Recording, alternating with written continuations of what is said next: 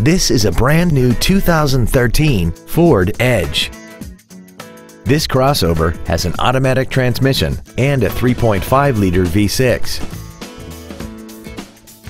Its top features include traction control and stability control systems, XM satellite radio, big 18-inch wheels, and a tire pressure monitoring system. The following features are also included. A multi-function display, air conditioning with automatic climate control, cruise control, a six-speaker audio system, leather and alloy steering wheel trim, a four-wheel independent suspension, a passenger side vanity mirror, dusk sensing headlights, a split folding rear seat, and a rear spoiler. Call now to find out how you can own this breathtaking automobile.